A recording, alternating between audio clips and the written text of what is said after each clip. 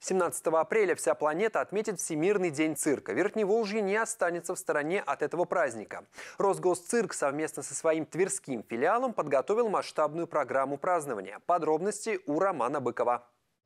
Третья суббота апреля во многих странах отмечается как Всемирный день цирка. Наша страна не исключение. Российское цирковое сообщество широко отметит этот праздник во всех городах, где есть манеж. Тверской государственный цирк подготовил много ярких мероприятий для своих зрителей. Конечно же, мы не могли пройти мимо, и Тверской цирк подготовил по этому поводу очень много, прям целый цикл мероприятий в апреле. Начинаем мы его с всероссийской акции «Парад династии».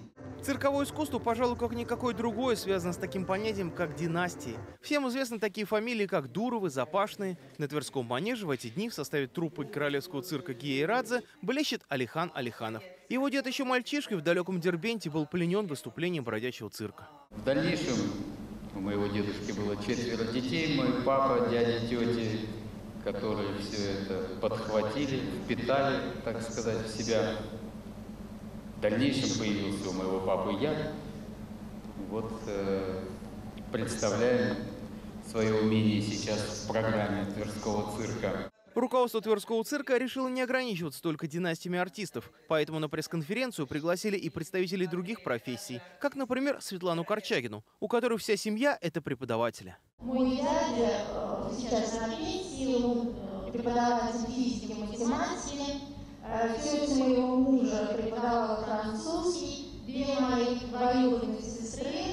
филфак и биофак. А Наши знакомые шутят, что вы можете одной семьей преподавать весь курс.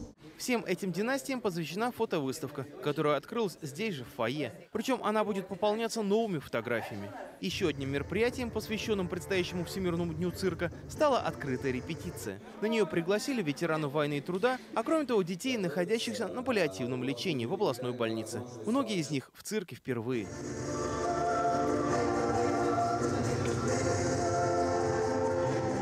Своих маленьких пациентов сопровождала главврач детской областной больницы. По словам Анны Зайцевой, такой визит очень важен для этих юных зрителей. Мы очень благодарны администрации цирка. Вот э, эта акция просто, ну, на самом деле прекрасна. Это как глоток воздуха, тем более для многих деток. И дети первый раз в цирке. Это, конечно, это поднимает э, их э, тонус, да, это дает эмоциональный заряд. И, конечно, это помогает верить в будущее, верить в здоровье, в жизнь. Непосредственно 17 апреля в 11.00 в Тверском цирке пройдет веселый праздник для детей, которых ждут подарки и яркая анимация, а также незабываемое шоу труппы Гии Радзе. В целом же мероприятия в честь Всемирного дня цирка будут идти в нашем городе вплоть до 23 апреля. Помимо непосредственно гастролей Королевского цирка, они будут включать визиты артистов в учреждения здравоохранения, а закончатся высадкой аллеи династии здесь же, на Тверской площади. В этой акции примут участие представители самых разных профессий.